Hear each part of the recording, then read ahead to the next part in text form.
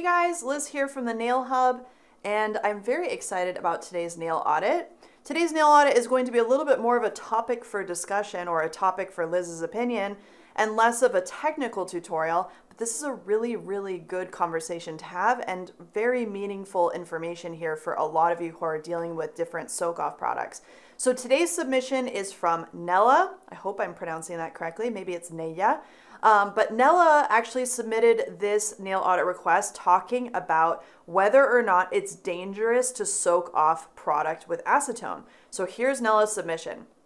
Hi Liz, I've received conflicting information from different trainers regarding the safety of using acetone for soaking gel nails. Some claim that acetone significantly dries the nail plate and poses long-term health risk due to its toxicity when inhaled, while others suggest it's safe when mixed with oil to counteract the drying effect. They also advise debulking 90% of the old material to make the process faster.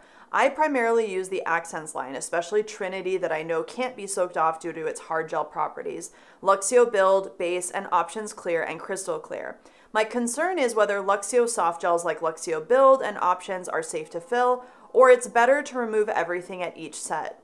I've also noticed that build and options don't soak off as quickly as Luxio bases and polishes. Your insight will be greatly appreciated. I've uploaded pictures of my sets done with Luxio build. Thank you so much. So let's take a quick look at Nella's nails because they are absolutely gorgeous. So this is one of the sets of pictures that Nella submitted to me. You can see on the thumb that gives you a good idea of the fact that it is an actual overlay being done with gel polish. It's just extremely thin around the cuticle area. This is very clean work, very gorgeous manicuring, beautiful nails. And here's another manicure that Nella had done, just absolutely beautiful application. Very thin application, very natural looking application. And these kind of nails are obviously very popular with nail clients. They love that milky, nude, beautiful, natural look. Nothing that stands out is what I find a lot of nail clients are into. All right, so let's start off with the first part of this question, which is, is acetone dangerous?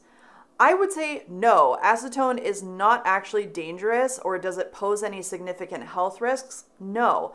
We actually use acetone not just for soaking off nail product, but we also use it as part of our nail cleansers. So I imagine that these same nail artists or same nail educators that are using acetone to soak off or are against using acetone to soak off nail product have something similar to or have acetone in their gel nail cleanser. So that would mean that if soaking off nails with acetone is dangerous and harmful, then so is using it in our nail cleansers. And that's been factually proven to be not true. Now, one of my favorite chemists that's in our industry is Doug Schoon. He's a brilliant scientist and he has done a ton of experimentation throughout his career one of the things that he always talks about when it comes to is acetone actually dangerous for nails is to take a nail clipping and put it in some acetone. And he has done that for a week plus. The nail actually stays completely intact. The acetone does not eat the nail. Nothing bad happens to the nail. But it is something that is drying to the nail plate. So that is in fact true. Acetone is very drying and we use that drying factor on purpose. Acetone does a couple things for us. It strips oils and it also dehydrates the nail plate. So that does a couple amazing things. It allows us to make sure that whatever product we're gonna put on the nail is able to adhere as well as possible because there is no oil that's going to inhibit that product from adhering. And it also strips out water. And water is also another enemy of artificial nail product, whether it be gel, acrylic, polygel, anything. We don't want oil, we don't want water, and acetone does a very good job of getting rid of both of those things. All right, so moving into the actual if we should be soaking off this product or not, I actually think that the more important part about talking about whether you soak off or you don't is talking about the nail damage that comes from removal and reapplication. One of the things that I've seen that I do not recommend when it comes to soaking off product is also part of this question. I have seen a lot of people where they literally just barely scrape the top of the top coat, then they have like a bowl of soak off product of, of acetone for the soak off product and they just dunk nails in a bowl warm acetone, cold acetone, I don't really care. This also has a lot to do with the way dip nails are removed. I see a lot of people where they just have a warm bowl of acetone, they barely etch the surface of the product, and they just have that hand dunked into some acetone. And that is going to be the most drying process that you can do with acetone removal. There's a lot of evaporation that happens with acetone as well, and that gets into my next least favorite way to remove gel polish is those heating units that actually steam off your gel polish. Heating up acetone does actually make the acetone evaporate faster. So there is a factor in that, which is if we are inhaling acetone fumes through something like one of those steaming units, a steaming unit is going to actually make that whole acetone vapor a lot more of an issue. Now you've seen that they have like little finger holes in them or whatever, but I've also seen a lot of people where they just heat up acetone in a bowl and that's the way that they get dip nails off because the heated acetone helps to kind of activate that breaking down of the product a lot faster. But heating your nails or heating a bowl of acetone, whether it's in a container or in one of those machines, the steaming machines or not, that is going to be something that is going to absolutely create an acetone vapor in your breathing space. And if you're not using a dust collector or something that, or a, uh, some kind of dust vacuum or some type of um, air air filtration system in your salon, you're literally going to have acetone vapor around your face. Now, does that happen when we just use foil wraps and we've got the nails soaking in acetone? No, but when we've got an open container of acetone and it's just evaporating or it's also being heated, that to me is a big no no. So that is absolutely true. But is it actually like, is acetone actually evil or bad or is going to eat away at your nails over time? No. I actually think it's more of the physical abrasion that we're doing to the nails through the process of removal, prep, and reapplication that is going to absolutely damage your nails. So that gets back to the topic of overlays. Overlays are my absolute favorite, whether it be extending the nails, a tip overlay, a natural nail overlay. The idea behind artificial product and maintaining that artificial product on your nails is that we are only prepping and applying on one area of the nail once, not 10 times, not 50 times, once. So, yes, it takes skill to be able to get good at this where you're not constantly dealing with lifting and inadvertently removing the product that should have stayed there all the entire time. Um, but in general, an overlay is going to provide a protective barrier on the nail that you're going to be able to maintain. And then you're just going to change the color on top, reprep any new growth areas, and then add new product as the nail grows out.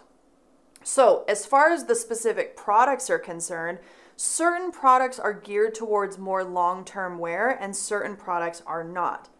The harder the product is to soak off, that's usually a good indicator that it's meant to be more semi permanent or permanent on the nail. Really, really easily soaked off products are usually intended to be something that are in fact soaked off every two weeks. So if you take something like a hybrid gel polish, like a Let's, let's use like a CND shellac as an example. A CND shellac is much more like a thin coating of nail polish and it soaks off extremely easily. That's one of the advantages of a product like that. And that's also why it became very popular with salons and also just different nail product users. But does it allow us to actually maintain an overlay of CND shellac every two weeks? No. It's one of those products where it's not meant to be that resilient um, it's not meant to be backfilled, so we do need to remove it and reapply. Now you go into kind of that middle ground and and uh, Luxio Luxio gel polish is an example of kind of one step beyond a hybrid gel polish. So it is actually a very soft and uh, weakly bonded product so that acetone can break it down and get it off of the nail. However, Luxio doesn't have solvents in it. It is not a hybrid gel, like it doesn't have the same kinds of ingredients as like a nail polish gel hybrid.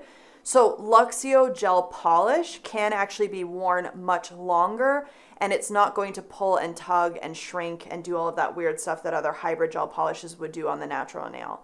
So it, it prevents micro pitting, it prevents white spots, all of that, even if you're wearing it for three, four, five, six weeks, okay? Luxio base can be used uh, long term and you can absolutely build up an overlay with Luxio base, but it's gonna have a little bit more of that flimsiness to it. And so then we go one step further down the road, which is getting into things like Crystal Clear, Luxio Build, any of those soak off builder gels that are a little bit more resilient. You'll be able to feel too, if you do a form test, you'll be able to feel that they feel harder. Um, they're less susceptible to getting worn down. They take longer to soak off.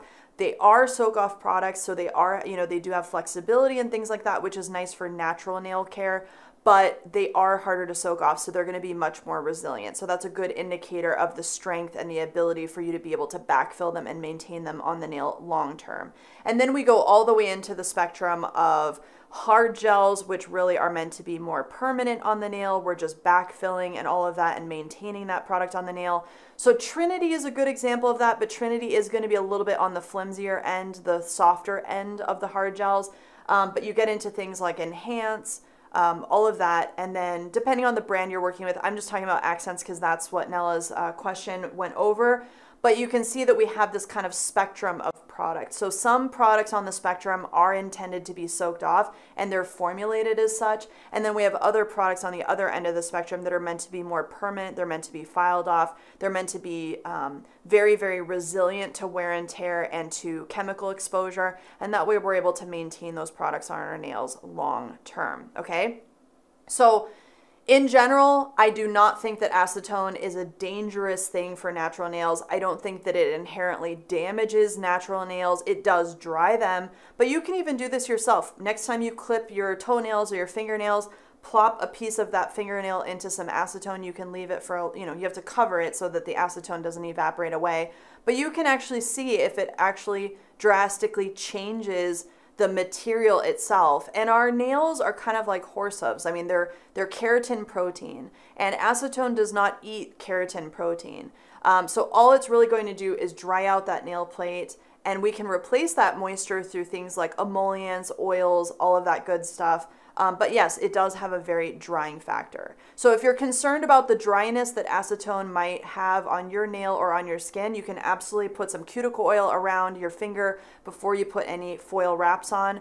I do recommend staying away from any type of acetone situation that might create vapor. So no open big bowls, no microwaving your acetone, no using a steaming machine. I actually stay fully away from those things. If you want to help warm up your acetone, put some foil wraps on so that the acetone is concentrated just primarily on the nail and on the product. Make sure that those foil wraps are as tight as possible without being uncomfortable so that you eliminate a lot of that evaporation. And then you can also put some um, plastic bags over your hands to kind of keep the heat and keep that evaporation factor down. And I always say, you know, put a warm towel over the top of the hands just to help warm up the hands a little bit and help activate that acetone so that it can break down the product a little bit faster. So that is a great thing to think about. Now, one other thing that's not in this question, but I wanted to talk about because it's also another big consideration, and it's it's not fair to kind of pit these things against one another because we can actually have this be an issue whether it's an overlay or a soak off situation. But I wanted to bring up a couple of things. Now, in Nella's pictures, we can see that she's probably doing some type of e-file manicuring. So she's using some bits to actually do her manicuring techniques, and that's how we get that ultra, ultra clean look. And also, um, if we are soaking off the product, acetone is also going to have the same, um, the same effect. So what I'm talking about is removing the natural moisture barrier from our skin actually makes our skin more susceptible to absorbing whatever it comes into contact with. And the same thing goes for e-file manicuring. When we e-file manicure, we are debriding the skin a little bit. We can absolutely do it safely and gently, but we are removing some of those outer layers of skin as we're doing it, and we're revealing new, fresh skin. We're revealing younger skin underneath, okay? So these two things, using acetone to soak off product as well as debriding the skin with bits, both of those are going to make our skin more susceptible to being able to absorb things that it comes into contact with. It is a consideration for discussing, you know, how some of these techniques can be almost hypocritical in nature where you can have a nail educator or a nail technician who's very big on e-file manicuring like, like a lot of the Eastern European nail technicians are. And so they go into something like, you should never soak off your nails, you should never do that. Only experts use overlays, and this is the way we should do it. And there's no, there's no, um, you know, other alternatives. And I'm going, okay, but you're also not, you're saying that acetone is the devil and we should stay away from it, but you're also not talking about how e-file manicuring can actually break our natural skin barrier and potentially leave us more susceptible to absorbing monomers, cleansers, different things that we might be coming across. So there's always a level of hypocrisy inside of the nail industry. And what I like to think of that is as trade offs. We have to consider the trade offs. Maybe this is the way we want to do something, or this is the way we think is cool, but there's going to be some trade offs with that. So if you want to be using a steaming machine to soak off the nails every two weeks, there's going to be some major trade offs to the way that that. Uh, the repercussions that is that is going to have and I always like to just have these kinds of discussions because in my mind, there are ideal ways of doing things, but there's always trade offs in everything that we do. And at the end of the day, we are applying plastic to our natural nails. That is essentially what we're doing with nail care. We are using plastic to beautify our nails and make us feel warm and fuzzy inside. And so there's already some natural hypocrisy in even having any of these conversations about health or chemicals or is this dangerous or is that dangerous? Because really what we're trying to do is have our cake and eat it too. We're wanting to beautify our nails with chemicals while also trying to mitigate a lot of the risk that comes with working with chemicals. So it's always this fine line that's always this dance that we're doing between the two things. And I always find it really interesting when there's an educator that has such a specific stance on something because at the end of the day, there's always going to be alternatives, there's always going to be uh, trade offs, there's always going to be considerations. So, Nella, I hope this video helped you understand a little bit about my personal opinion about this topic. And for those of you that are, you know, really wanting those technical tutorials, I definitely have those intermixed in some of these nail audit requests. Today was a very special one. It was more of a topic for discussion, which I really enjoyed discussing with you guys. I hope you guys got a lot out of this information today. And I will be in touch again soon with another nail audit. Thank you so much, guys. Bye.